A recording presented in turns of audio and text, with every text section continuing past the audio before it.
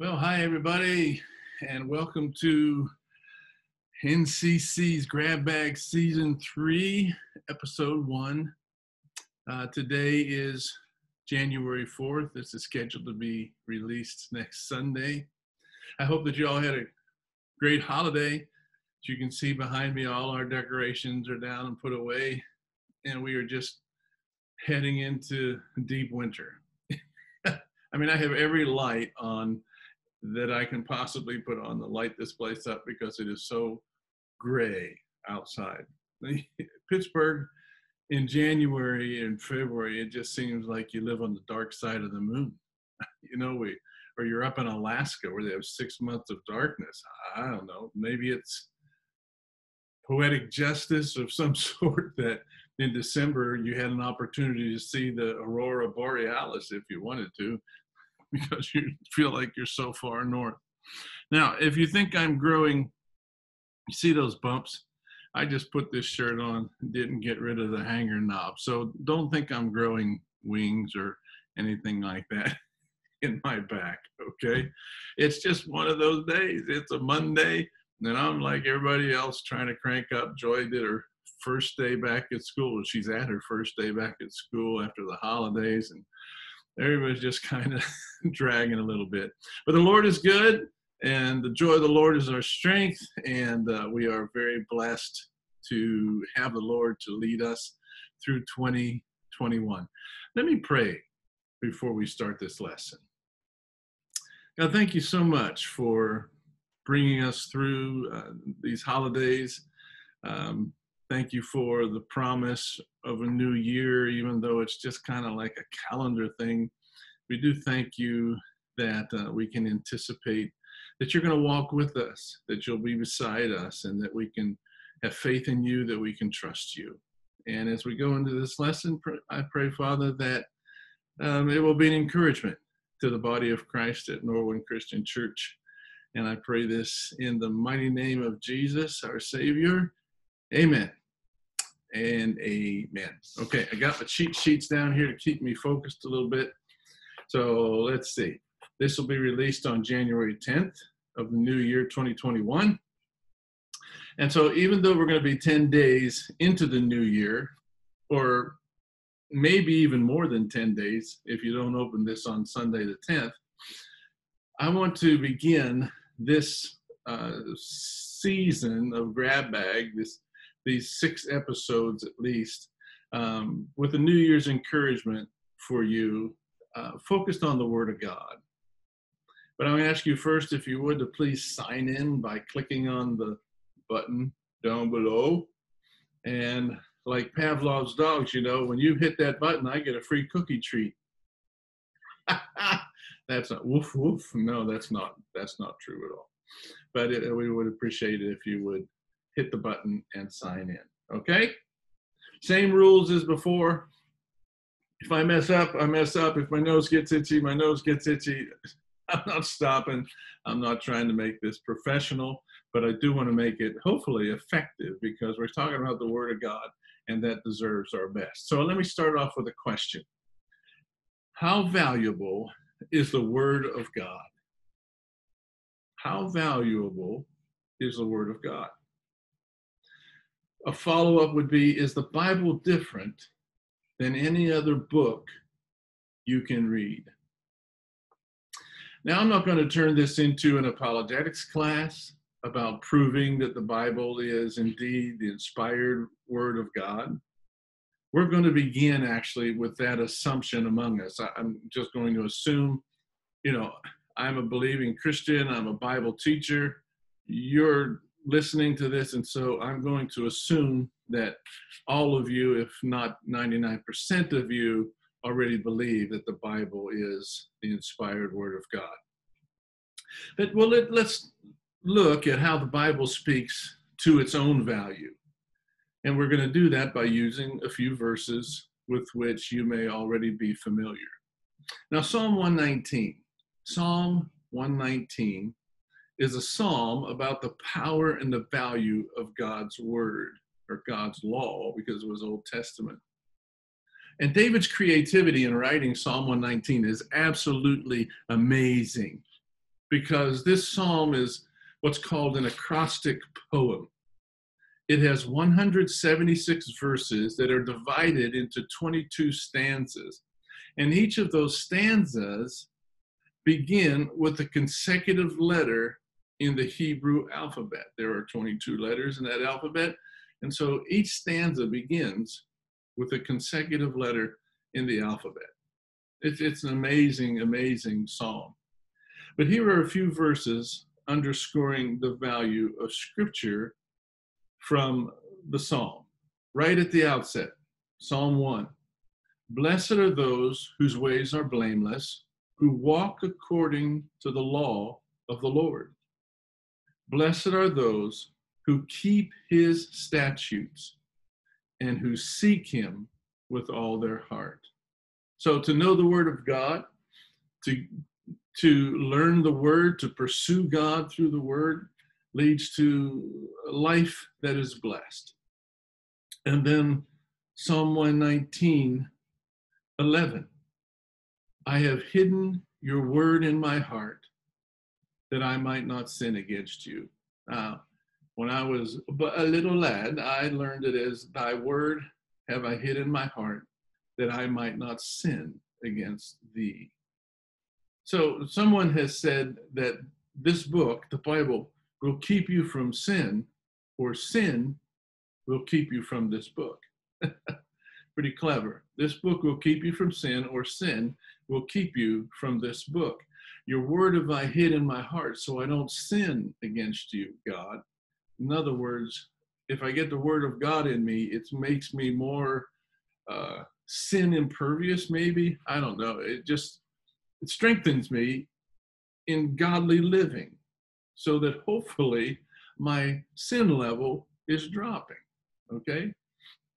Now, that's not the whole purpose of studying the Word of God. You know, we just don't want to lower our uh, sin tolerant level, or so to speak. Um, you know, we're, we're, it's not all about just being less sinful.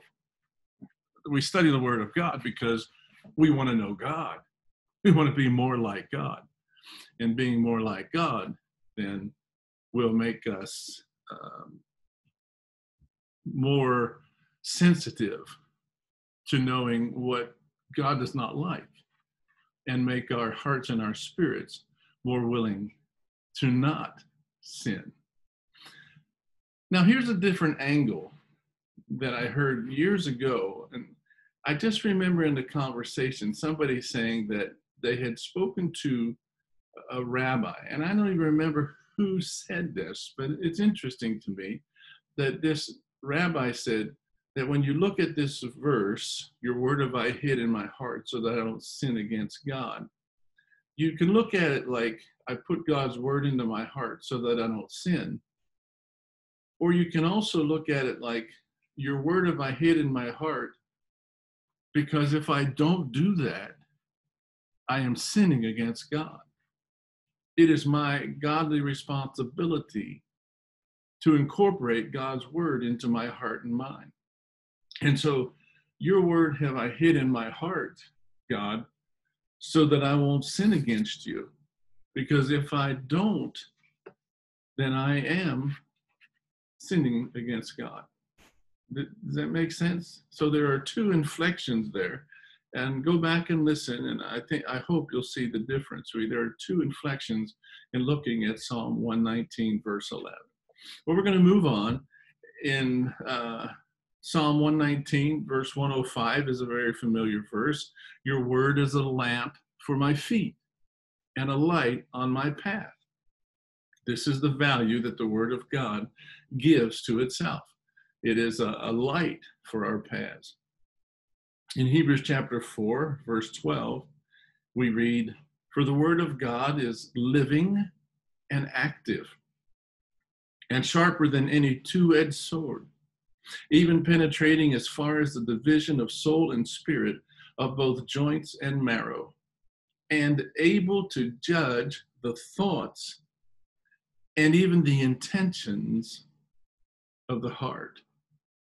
Now, the Greek word judge simply means it's able to provide discernment. And to discern means to perceive or to recognize something. So, what the Hebrew writer is saying is that the Word of God provides a dimension of godly wisdom to a believer's thinking and perceptions that can only come through the Spirit of God. And this is in line with Paul's teaching in Romans 8 that those who walk in the flesh cannot discern the things of the Spirit. See, the Word of God gives insight into thinking God's way and in perceiving others' thoughts in a spiritual light. It's almost like adding another dimension to your thinking because when you're walking in the flesh, you cannot discern and understand the things of God. But when you walk in the Spirit, the Holy Spirit gives you some wisdom and some insight into why people do what they do, what they're thinking, how to handle certain situations. We get that through the Spirit working through the Word. In Second Timothy, Paul writes, All scripture is God breathed. That's what inspiration means. All scripture is inspired and is useful for teaching, for rebuking, for correcting and training in righteousness, so that the servant of God may be thoroughly equipped for every good work. So, the value of the Word of God, it's valuable for teaching. You know, we get a lot of just biblical knowledge. You can also get historical knowledge and um, other types of knowledge from the Bible. But it is also good, uh, Paul writes, for repute, reproof. Um, the word I was going to say was rebuke you know, what does it mean to rebuke? Well, you buke once and you buke again, so you rebuke. Nah, reproof or for rebuke. The word actually means to expose, to measure self against.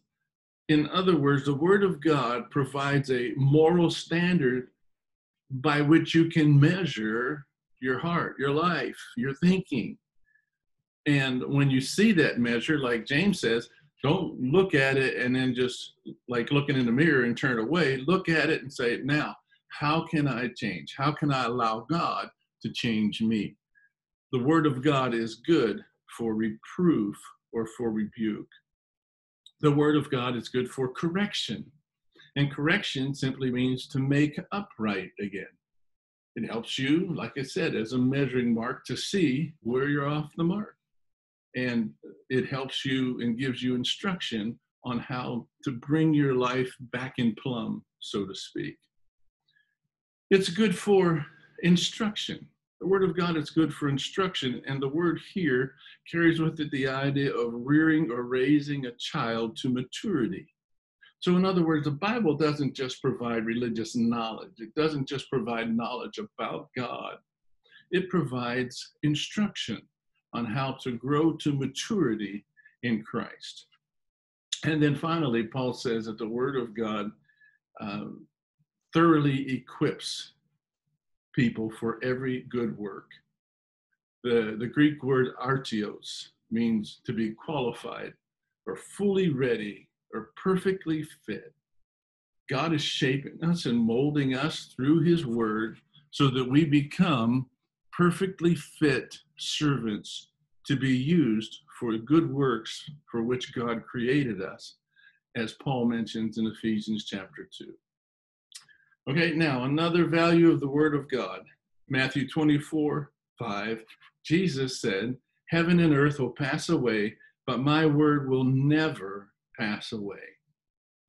How valuable to a person's spiritual birth, growth, and maturity godly thinking and direction does the Word of God see itself. you know, this is eternal input, good for instruction and reproof and training in righteousness and all of the things that we've already talked about. Because my time is, you know, they told me I need to make these things shorter, and so I'm trying the best I can. Um, so I don't want to go back to see those, but just think about what we've already talked about how valuable to a person's spiritual growth to their godly thinking and direction does the Word of God see itself? The answer to that question is absolutely invaluable. So, question number one that we began with is how valuable is the Word of God? Now, second question that we'll use for the rest of this time together is this How valuable is the Word of God to you? How valuable is the Word of God to you? Now, I can tell you that, like a dentist tells us that brushing and flossing are valuable to us, we are the ones who decide whether or not to follow that advice and avoid cavities and problems. We could agree, yeah, it is absolutely necessary, it is absolutely vital, but we're the ones who decide whether it is vital and valuable to us. And so, in the same way, the Word of God is invaluable to our spiritual health. But you or I determine whether it is valuable enough to motivate us to some sort of productive action. Here we are at the onset of another year, and people are making resolutions or have already made resolutions for self improvement. And I, would guess that a large number of the resolutions involve improving or changing externals like a person's weight or location or a vehicle, or even a job. And many of the resolution, resolutions that people made have already been broken, you know, 10 days into the year. Well, no, today's the fourth. So probably a lot of them have already been broken in the fourth day of the year. Well, I have a resolution for us as Christian men and women. A resolution that will have great impact on your home, on your heart, on your workplace, on your family, on your neighborhood, on your community, and even on Norwin Christian Church. I would like to challenge each of us to eat better this year. In fact, I challenge us to eat better and to eat more than ever before. You see, we make plans to feed and sustain our physical selves, well, the eating I'm talking about is making plans to feed and sustain our spiritual selves by eating spiritual food, eating more of it, and eating better than ever before.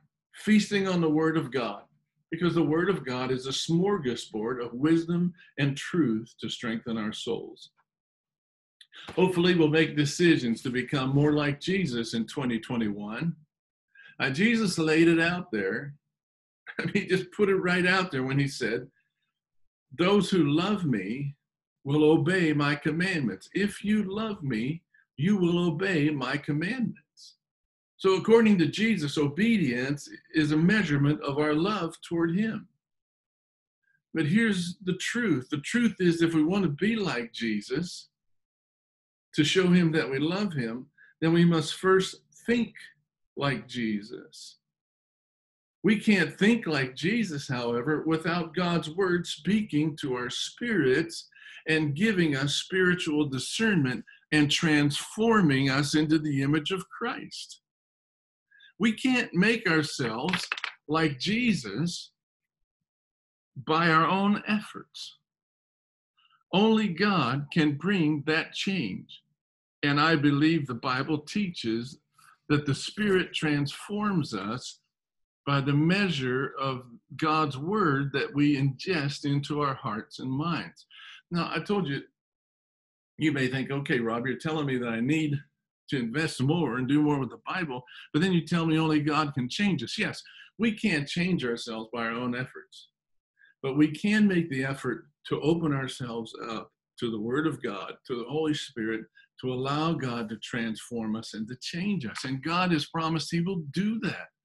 He who began a good work in you will continue to perfect you until the day of Christ Jesus. God will continue to work in you if you make yourself available to Him. And one of the ways that you make yourself available to Him, that you grow in Christ, is by getting more and more of the Word of God into your mind and into your heart. If we know God better through the Bible, then God, through the Bible, will make us better. If we know God better through the Bible, then God, through the Bible, will make us better. So, with that said, and trying to keep this session shorter in time, here are a few suggestions for you. Number one, I hope that you will find at least, at the very least, a good devotional to use for this year. But don't merely read devotional thoughts that someone else wrote about the Bible. I mean, that's a good thing, but don't settle just to read devotional thoughts. In other words, don't settle for books about the book. I'm working my way through a Max Lucado book called Never Alone.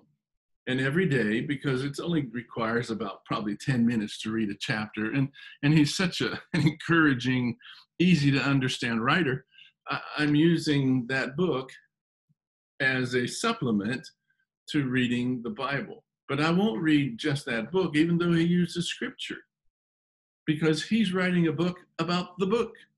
And we want to read the book. Last year in June, I began this book that says Ever Faithful. It's a devotional by David Jeremiah.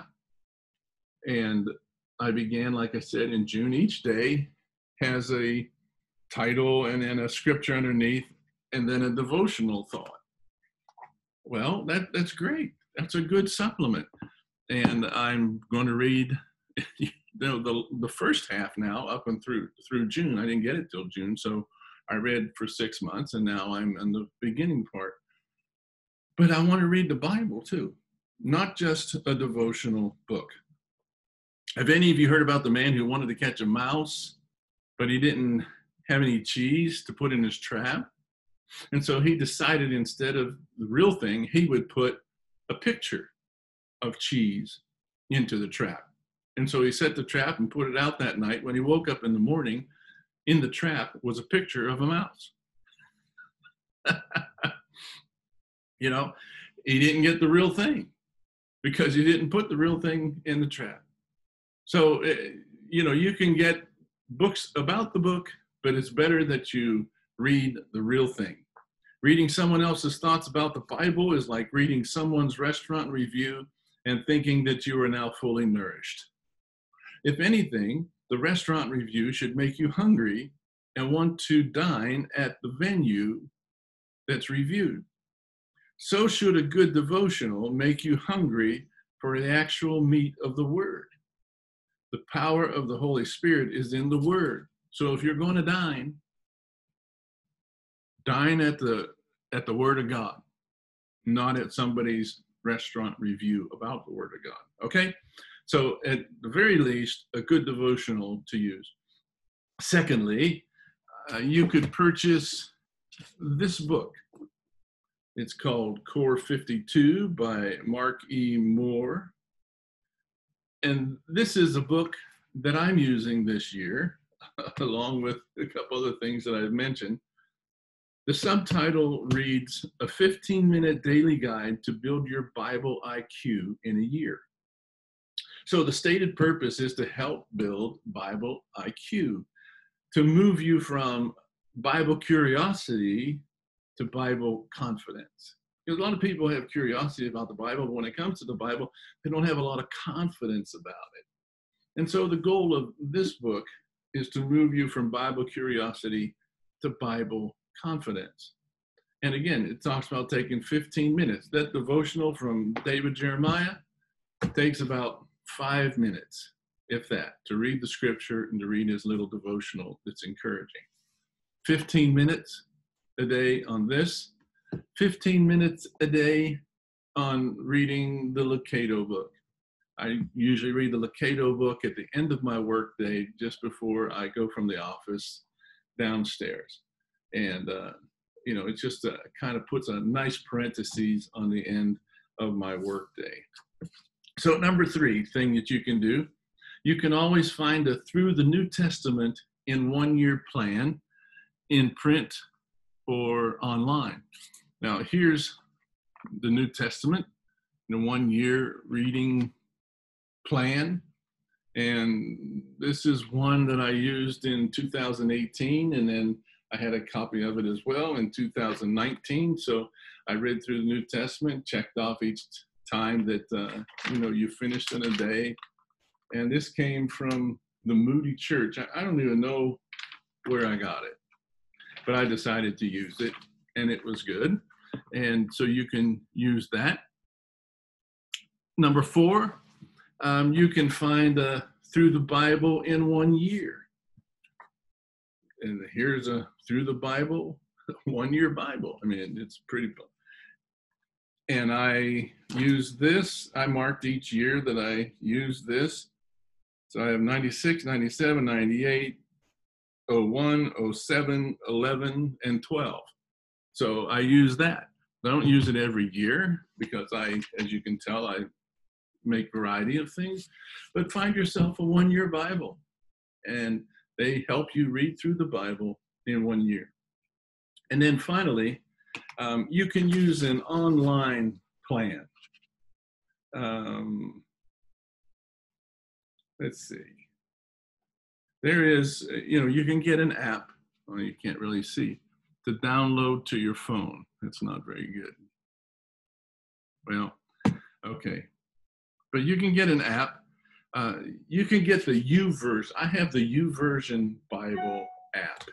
Okay, and I was going to show you some things, but I can't. So I'll just talk here. Um, it provides various topical reading plans, uh, the Bible in different versions, a daily Bible verse reminder that you can set to show up on your phone at a certain time. Mine shows up at four o'clock in the morning. So when I get up in the morning and I grab my phone from the charger at night, first thing I see is a daily Bible verse. You can have, it has scriptural memes, scriptural videos. There's just so much packed into that Bible app on your phone. And everywhere you go, you've got the Word of God with you. So when you're sitting in a doctor's office and you're bored, sitting on a bus, what, whatever, you know, open it up and you can read. And the thing is, last year, I just sat back and I had a plan for reading through the Bible in one year. And uh, let me get here. At any time, you can get the this. Well, I can't do it. You can get the scripture. I think you can hear it. And there is a really nice English man, or an English sounding man. Adam made love to his wife Eve, and she became pregnant and gave birth to. She said, With the help of the Lord, I have brought forth a man. Okay, there you go. of all Genesis 4, because I'm reading through the Bible in a year, or he's reading through the Bible in a year. And of all things, you know, Adam made love to his wife. Well, there you go. So, but boy, um, Genesis 4, and you could hear the guy reading. And so when I was reading through the New Testament, I could just sit back and I could just let him read the New Testament to me. But it's also on the screen. So if you read while he's reading to you, I mean, then you're getting, you know, a double whammy, so to speak. So it, there are just so many things that you can do with a, a Bible app on your phone. And listening to a guy read the scripture to you is going to take less than five minutes a day. So there are just so many tools to keep us from biblical illiteracy. And I mean, so many. There's no excuse for being biblically illiterate. And I've tried to give you four or five different options that you can use. Combine them if you want. That's what I do and I spend about an hour, maybe an hour 15 in my devotional time with prayer and listening to the scripture and uh, meditating and thinking about the scripture. When it all comes down to it, the one critical cog in the machine is you. You know, they say that you can lead a horse to water, but you can't make him drink. Uh, I'm not calling you a horse nor would I call you a cat. Oh, yeah, yeah. well, I got all kind of jokes. Um, I would call you a horse. But I did hear somebody wisely say one time, you can't lead a horse, you can lead a horse to water, but you can't make him drink. But you can salt his oats. You can make him want to eat. And that is why I chose this topic for the first one out of the chute in New Year's 2021. I hope hearing about the value of the Word of God for your spiritual life, for your life overall, and then challenging you to act upon the value that's there by uh, grabbing a discipline of some sort and getting, as I've said before, getting into the Word of God so the Word of God can get into you in 2021 will be like salting your oats. I hope that to salt your spiritual oats, to prod you, to spur you on. Oh no, not another horse analogy. Yeah, to spur you on to a stronger year of spiritual growth in 2021. You know, you can tell a child is growing and maturing when she no longer has to be spoon fed by someone, but has learned to feed herself. And at NCC, we hope you never tire of learning by joining the Church Fellowship for Corporate Worship. But obviously, also, we hope that you are motivated disciples wanting to learn on your own. And I think that you are. Otherwise, why would you even be here listening to a grab bag lesson? And so I want to applaud you. I want to thank you. And I want to encourage you to keep up the good discipleship work. Get into the Word. Let the Word get into you. You can add more spiritual vitamin to your 2021 daily diet by grabbing the reins. What? Another horse reference, Rob? What's up with all the horse stuff this morning? Well, anyway, grab the reins and go right into the source, the scripture itself, and trust the Holy Spirit to instruct and lead you. Now, that is what millions and millions and millions of people have done throughout all of history. That's why, one of the reasons I believe that the Word of God was inspired and given to the church. God wants you to know Him, God wants you to know His will. The Holy Spirit, the Bible, and you. Now, that's a great trinity for growing in Christ. Of course, if you have any questions, you know, as you study the Bible, if you have any questions, let me know and I'll, I'll point you to Terry or I'll let Russ Gratton handle every question that you have. Obviously, I'm just kidding. I'll be happy to do my best to find scriptural help. A question you have may be a challenge for me and an opportunity for me to grow iron sharpens iron. So we can grow together in that way. Let's each commit ourselves to getting into the Word of God and making this year the year of the Bible for us. Okay? Hey, high five. That's Grab Bag Season 3, Episode 1.